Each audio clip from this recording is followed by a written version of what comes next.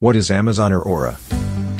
Amazon Aurora is a cloud-native relational database service offered by Amazon Web Services.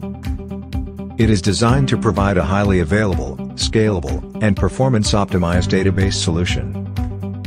Amazon Aurora is compatible with MySQL and PostgreSQL databases, which means that it supports the same SQL language, drivers, and tools that developers use with these databases. It uses a distributed architecture that separates compute and storage, allowing it to scale up and down based on workload demands. Amazon Aurora uses a quorum-based storage system that replicates data across multiple availability zones, ensuring high availability and durability. It provides several features such as automatic backups, automated failover, and point-in-time recovery. It also supports read replicas for scaling read workloads, and global databases for replicating data across regions for low-latency global access.